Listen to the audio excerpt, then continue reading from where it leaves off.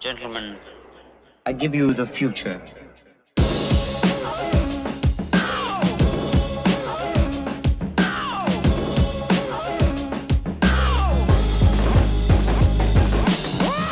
This is the come up show where that feel good music lives. Real recognize real. It's your boy Cheto. We're here at the Call the Office.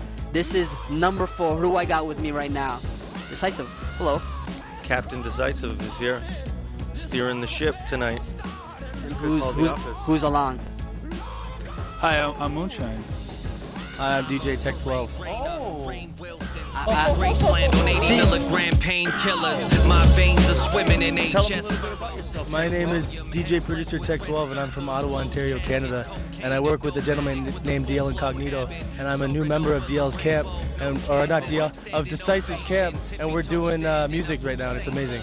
We're changing lives. Number one rapper, a double laughter with no signs of slowing down. I'm going after the gold. And after that, the platinum. Then assassinate my fans with a nice cold glass of lips. We're currently on the Jonestown Goodbye Tour with my son, the Hurricane, who is sound checking right now. And if now speaking to all you viewers out there, um, let me ask you guys a question. And I've been asking the crowds. The, we've reached about maybe two. 170,000 people in the past four days. So we've been asking them every night, like, what do you think is would be like the most valuable ship? I'm gonna ask you this question, Cheto. Like, what would you think is the most valuable ship? Like, us maybe a solid gold ship, maybe a ship that's like covered in diamonds. Uh, I'm not gonna go with the name. I'm gonna say a sh- uh, ship with a helicopter pad and uh, uh, a club downstairs, a studio, a recording studio in it. A ship with a recording studio. But is that your final answer? That's my final answer. Now I hate to do this because you're a good friend of mine. Okay. You were wrong. Do you want to know what the right answer is? What's the right answer? Friendship. Friendship is the most valuable ship. Friendship. That's that's the most valuable. Friendship. Can I be part of this ship? Yeah, you are on this ship. We're the friends ship of friends. The most valuable ship. Beverages laughing. And when the clock strikes 12, that's when my world stands up. Frowns turn to capital U's. I demand you to grab a cup and drink until the cup's bone dry. So this is this marks my fourth appearance. You really want to be classified because you know classified has five. He's been on the come up show five times, and you're really aiming to beat this, aren't you? I have to, yeah. Why? Uh, because I, because come up show, you guys are major supporters of myself and my team, and I think it's important that I've been on it the most times. It's mm. kind of like when you go, who who was it? Like comedians that were on like the Johnny Carson show. Like you know, it was very Like Carrot Top. like Carrot Top. Like Carrot Top. Like he's been on the Johnny Carson show like a record-breaking 63 times, right? So I want to be the Carrot Top of the Come Up show of your Johnny Carson. You know, you can tell you worked vaudeville because your voice projects. When you talk, you you talk with projection. Because in those days they didn't have microphones, right? Oh, no, we never had mics. No, no. We, we have them now. Like it's it's it's split down the middle. I get a lot of emails of people telling me, "Hey, I saw you on the Come Up show." That Cheto, he's very Johnny Carson-esque. And then on the other half, I get a lot of emails like, "Hey, what's up with the armpit stains on the last Come Up show appearance?" they were very big, but I think I want to clear that up with with the viewers out there. They weren't stains. No, so what would you? I don't know what to refer to it as. Perspiration. Perspiration from just rocking a show. It's totally cool, man. Nobody hates on Colby in the fourth, man. You smashed that show. But I just came off stage. You just came off stage and you're like, "Yo, Cheto, let's do this interview right now." You just wanted to do it fast. Nothing. Right, guys. Nothing. Not a big deal. Not a big deal. I want to talk about the live show, okay? And hip hop live shows, you know, some MCs are just on there, you know, you're not really interested. But your live shows, I've brought friends who have never heard your music before, and at the show, they bought an album because you entertain them. Not only the music, but you as a human being. them. Yeah, you, all you guys entertain them.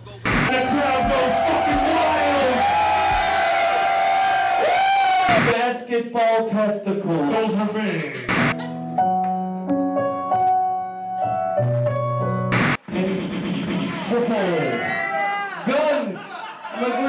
Look, we're not even fucking gangster, everyone. We're, we're a little bit gangster.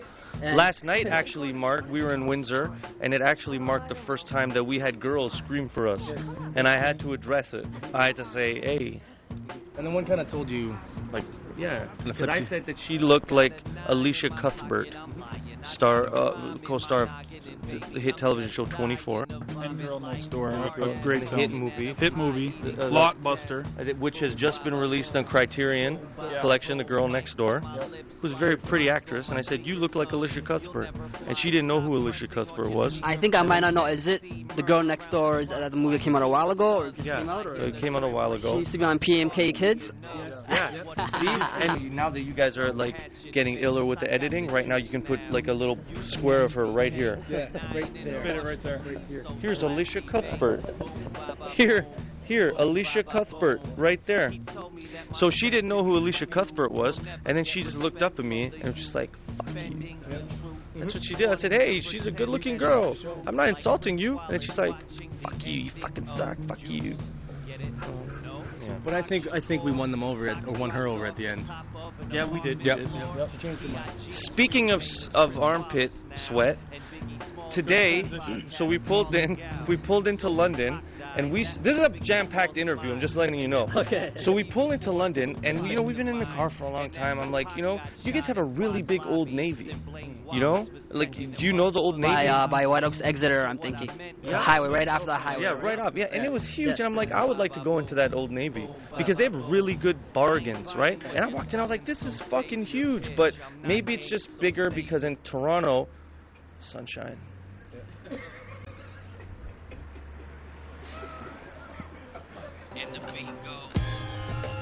So I was like, that was a big, that was a big Old Navy, but but in Toronto they're all like different floors. So I don't know, maybe it all adds up. Anyways, we're we well it can't show now because this is my offstage like comfort clothing. You'll see me. I wear smaller jeans now and smaller shirts. I've lost 17 pounds, so I like to show that LBSs. I like to refer to them as. So, but like when I'm out and I'm just that's why I'm wearing these shoes. These aren't these are clays, right? The- yeah, these aren't quite um, shoes to wear with jogging pants. But hey, you know it is what it is.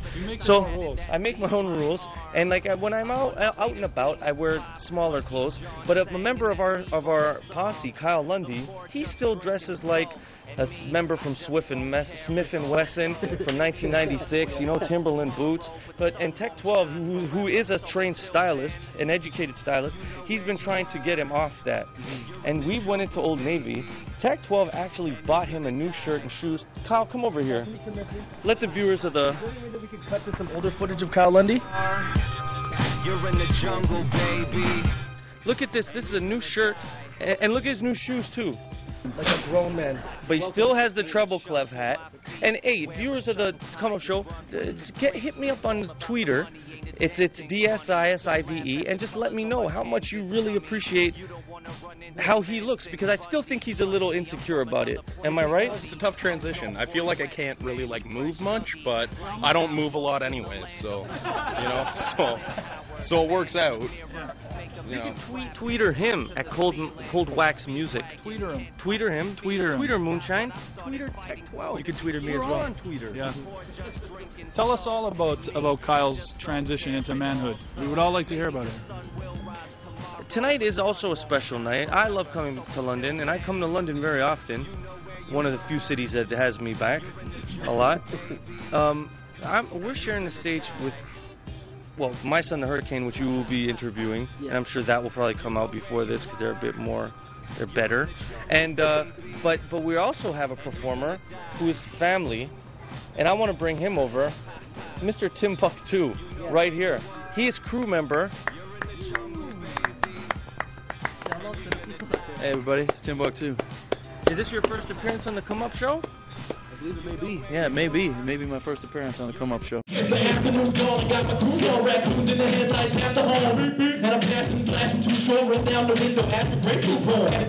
We are part of a group. Let's let you. I talk too much. You guys explain the group. Muneshine. Yeah. What? Tell them about the group. Okay, so we're in a group. Mm-hmm. And It's called the Wolves. It's called the Wolves. It's Who's this, in it? know, this gentleman right here, D-Sisive, is in it. Uh, Muneshine is in it. uh, and my boy Ghettosocks from Halifax is in it. Uh, He's not here right now, and I'm Timbuktu, and I'm in it. And Bix is handling the production, Mr. Bix, and it's a powerful, vicious assailant. It's a force for good in the universe. It is. Or evil. It's a force, a force for evil, maybe more than a force for good, but with good intentions of doing evil deeds. Kerosene soaked towels in the gas tank cash from the casino. Like Ray Liotta, way wrong Scorsese. And we I, I, we have a single circulating the World Wide Web currently called Air Pump in a Mushroom Cut, which you can download on any of our social networking pages. For free. For free. For free. You know how much that is? Zero dollars. And zero cents. And no tax. I also twat, uh, twat, twit, twat, tweet. Twat? What is it? Twat? Yeah. Twatter. Uh, You it's twat. Timbuktu Raps. That's me. At so you can Timbuktu tell me about Kyle Lundy's outfit too, if you're if you. And other it. things. Anything, really. Wait, you can talk about it. Wait, don't you also have a new project out? Oh, I do. Coincidentally, does anybody have one for me? Choke. Yeah. Choke? Yeah. Uh, we are London. You know, we are London. You know, royalty. We came from London. This is where we were birthed. And uh, Toolshed is the name of the crew. That's my boy Choke over there. Get Choke over here, maybe. I don't know. Get over here. And we did this. This record. It's, it's a long story. You got to read the liner notes to really know the inside story of this album. But it was a lost record that was going to blow up in 2007 or so. It was It didn't for certain reasons, and now it's re-released and revamped with new remixes and all sorts of stuff. And it's me and my boy Choke and my boy Cybo, who lives in BC right now. It's on Spirit Quest, but um, Shamanic. yeah, it's a Shamanic Spirit Quest. Or Shamanic. We don't know how to pronounce it. Ask Sabo. Yeah, yeah, Cybo knows. That's him in the middle, with the Dan Aykroyd cigarette hanging off of his lip. You know, like in that scene from Ghostbusters. Like he ain't afraid of no ghost. Yeah, like No, busy it's doing not. anything, holding that Definitely not. cigarette on. Anyway, this is new album. It's come. Uh, this is kind of a release party. It's a little early, but phone's ringing. but anyway, we're gonna uh, we're gonna release that tonight. So lots of new projects going on. The squad is crazy. The, The posse squad is crazy. is crazy. It actually, we are probably the craziest squad of squads. Like crazy. Like crazy. So many Like projects. So many projects. Yeah. We don't stop. The train doesn't stop. The train will never stop. It's never gonna stop. It's a it's a network of people, isn't it? Yeah, we're like Uh, Wu Tang Clan. Wu Tang Clan. We're like the Wu Tang Clan. Yeah. We're like the Wu Tang Clan. A- any, any anything else that you guys want to say, man? When I was in Ottawa, uh, Tech 12 and myself were doing radio interview with DJ Duckets, who was also a great friend of mine. We did a great interview, and uh, so then we, we were done the interview, and then we were just kind of hanging around the station until we had to go back to the venue. And I was talking to the co-host with him, and uh, I was just like, man, this guy looks familiar. And I kind of excused myself and went out and like Googled him. Like I just Googled who I thought it was. Got the name. I came back in. I go, Kyle. I go, Ask that guy what his name is. Asked him what his name was, and it was his name. His name was Greg Campbell, the other member of Organized Rhyme. Really? That wasn't Tom Green. And that was fucking amazing to me because that, and I'm being serious right now, I'm not even trying to make a joke out of it. Yeah. That record was like very influential to me when I was young and it inspired me to want to rap and to make music. And that was like, that was a great moment. So that was like one of the great moments of this tour.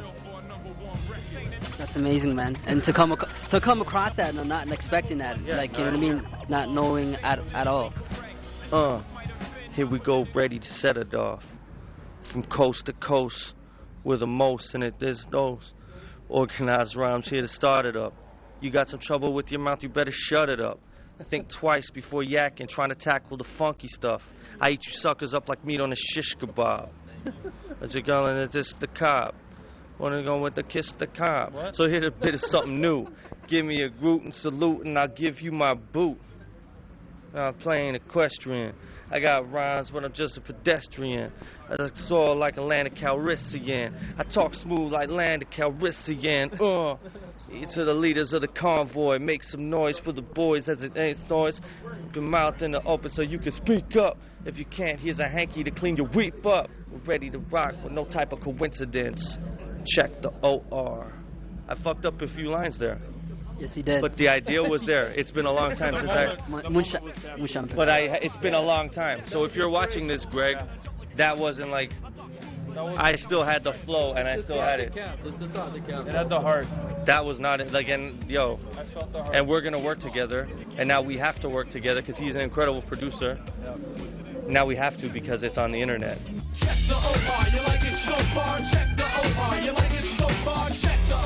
And uh, maybe maybe I can be the new organized rhyme member. We don't need Tom Green. We got the bomb green. Whoa. That's what I call marijuana sometimes. That's cool, man, because marijuana is green. So everyone hit, not I smoke purple stuff though. Oh. But uh, if any of you hit me up on the Twitter, hit Greg up on the Twitter, let him know how much you guys want me to be the next member of Organized Rhyme. Tech, Kyle, get over here. We gotta say our goodbyes to the Come Up Show. Number four, wrapping up on The the Come Up Show, where that feel good music lives, real, recognized, real. This is a friendship right here. Hi, everybody. We'll meet again. Don't know where. Wow. Don't know when. But I know we'll meet again some sunny day. We are the world. Everybody get over here. Everybody get over here. We are the children. My son the hurricane, everybody. Get over here. We are the ones who make a better day. So let's start giving. Get come on, come here, come here, come here. trombone here. There's a choice we're making.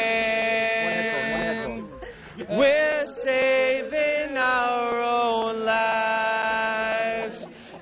true, we make a brighter day, just you and me. One more time with the last line. It's true, we make a brighter day, just you and me.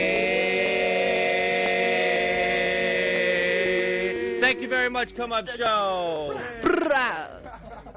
And we out. A friendship. too.